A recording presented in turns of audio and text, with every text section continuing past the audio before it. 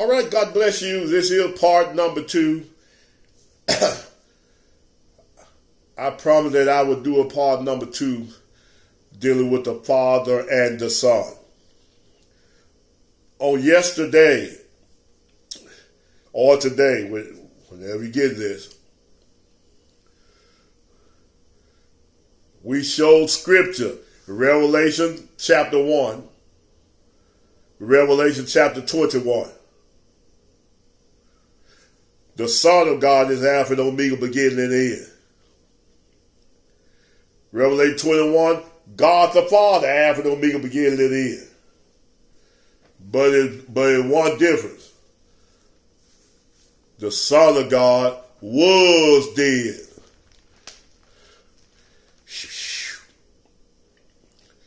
Let's look at that.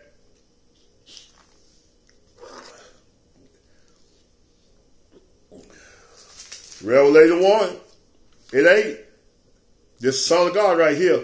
I'm Alpha and Omega, the beginning and the end, said the Lord, which is, which was, and which is to come, the Almighty.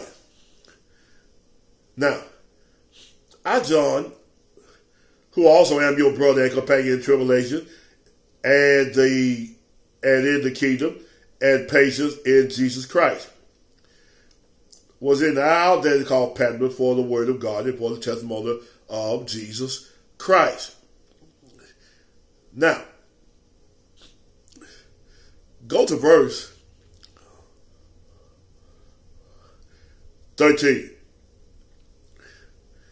And in the midst of the seven candlesticks, one like unto the Son of Man, clothed with the garment down to the foot, girded about with paps and golden, with a golden girdle. His head and his hands were white like wool, as white as snow his eye with that flame of fire, and his feet like unto fine brass, as if they burned in the furnace. And his voice was as the, his voice as the sound of many waters, and he had in his right hand seven stars, and out of his mouth with a sharp two-edged sword.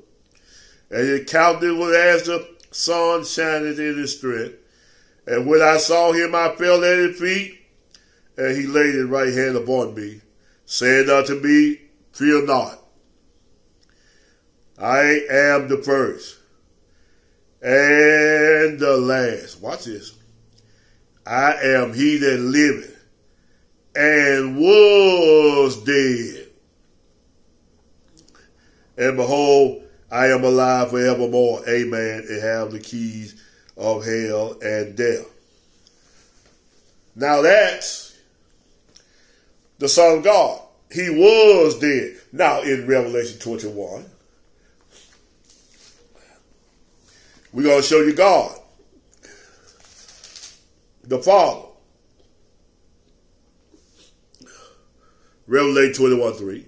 And I heard a voice out of heaven saying, Behold, the tabernacle of God would be that he will dwell with them, and they shall be a people. God himself shall be with them and be their God. And God shall wipe away all tears from their eyes. There shall be no more death, neither sorrow, nor cry, these shall there be no pain, for the former things are passed away, and he has sat upon the throne, saying, Behold, I make all things new. He says, Be right these words, but they are faith and truth. This is God sitting on the throne. Remember the Lamb took the book out of the right hand of God that sit on the throne. Remember Revelation 3.21? Jesus said he had overcome it, shall sit with me in my throne, as I am overcame and sat down with my Father in his throne at Revelation 3.21. Verse 6, he said to me, It is done, I'm Alpha, I am Alpha and Omega, the beginning and the end. I will give unto him that is the thirst of the fountain of the water of life freely. He that overcometh shall inherit all things. I will be his God, and he shall be my son. Now that's God talking. But the difference in God, in the Father and the Son, the Father never was dead. But the Son did die. The Son was crucified. you see a difference, but both of them Alpha and Omega. because the Son was with the Father in the beginning. You find that in John chapter 17. Now let me show let me show you something. Let me show you something. I want to show you something.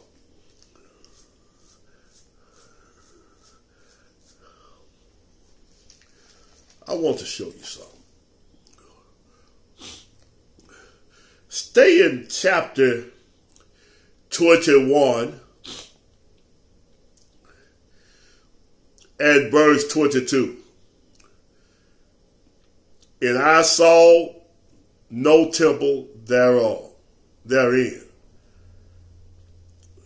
For the Lord God Almighty, watch this, and the Lamb are the temple of it.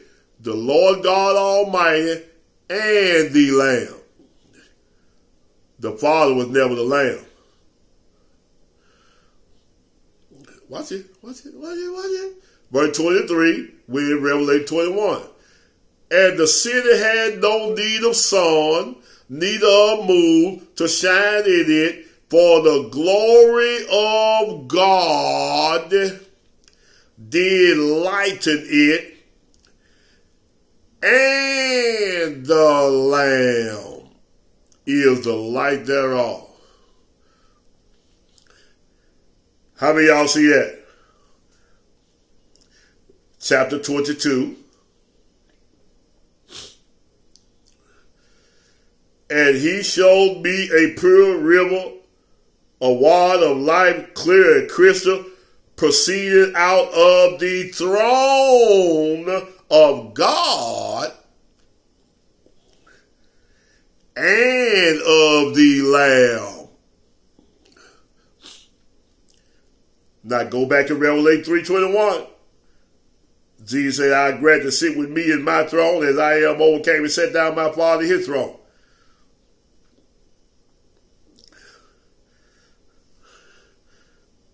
You see that? Verse 3, and, th- and there shall be, of uh, chapter 22 of Revelation, and there shall be no more curse, but the throne of God and of the Lamb shall be in it, and his servants shall serve him.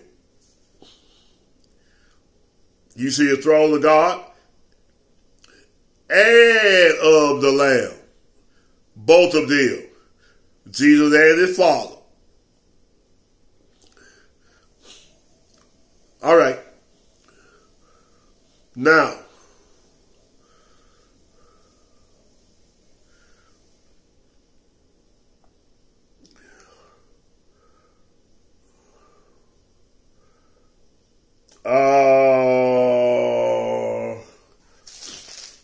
let's see.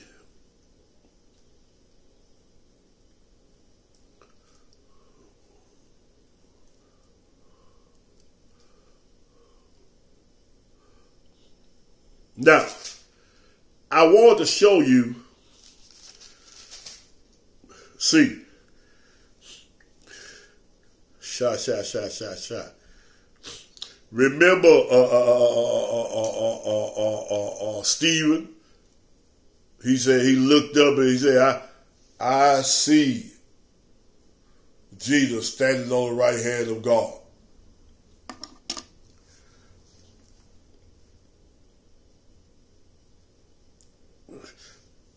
Remember all the apostles preached that you see in here. They preach Christ on the right hand. Seek, seek those things which are above, where Christ sitteth on the right hand of God. Christ on the right hand of God making intercession for the saints. Praise God.